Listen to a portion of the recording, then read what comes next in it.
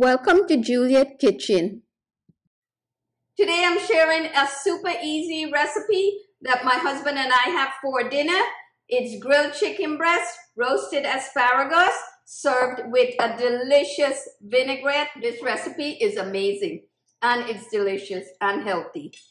Stick around long enough and you'll see how I make it. Before we get started, if you're new here to the channel, please consider subscribing also, give the video a thumbs up if you're enjoying it and click the bell for notification whenever I upload a new video. I'm using three chicken breasts that I've washed thoroughly. They're skinless and boneless. And by the way, I would beg to say that this chicken breast recipe is better than restaurant quality and here's why.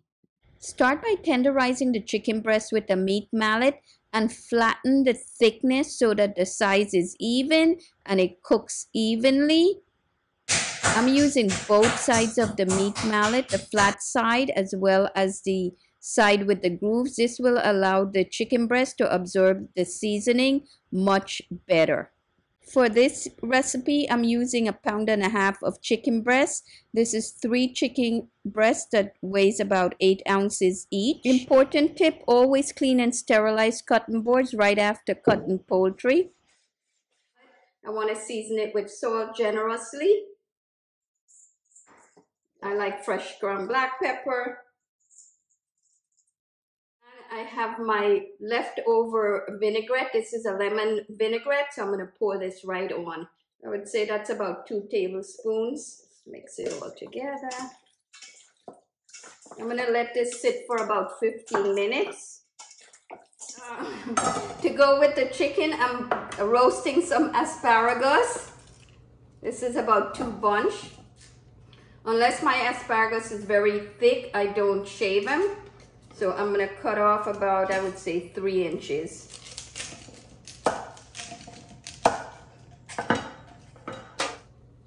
Add them to a sheet pan. These stalks are actually very good uh, for stock.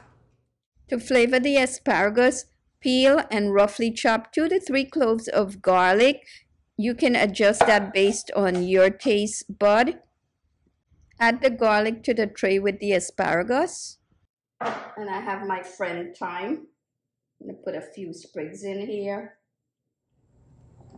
We like things spicy around here, so I'm gonna add some red pepper flakes. Mm, that much. Half a teaspoon maybe. Whatever. Avocado oil. Enough to coat the asparagus. Just make sure the asparagus are in a late one single layer. Into the oven at 425.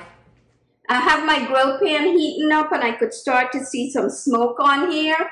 Uh, for this recipe, I'm using avocado oil, which has a high smoke point, but you could use any uh, type of high smoke point oil that you prefer. My favorite pan to use is a cast iron grill pan and I heat it until it starts smoking before adding the avocado oil. These cook very quickly. I love using the cast iron pan because they work as a perfect nonstick.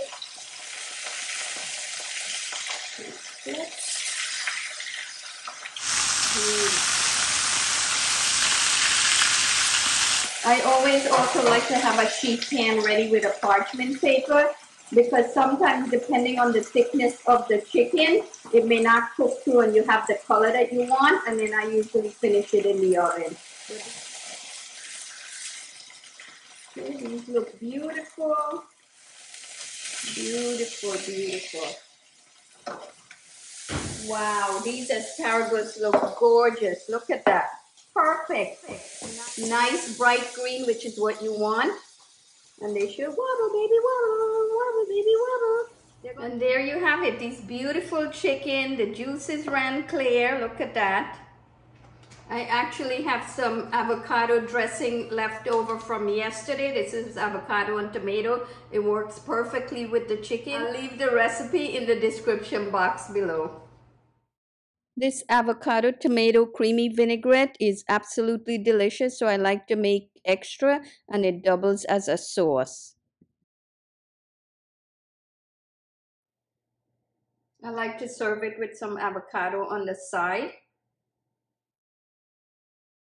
Sprinkle with some Maldon salt. This looks so yummy and it smells yummy. See here, let's cut the chicken down the middle. Wow, look at this. Perfect, perfect, perfect. You see that? Nice, juicy, tender. That sauce, mmm. Mmm. Wow. It's so good. The vinaigrette that I seasoned the chicken with was perfect. A great idea of what you can do with leftover vinaigrette. Use it as a marinade. Why not? And FYI, this fine dining restaurant quality chicken breast with asparagus and avocado cost me less than $40 for dinner and it feeds my family of three.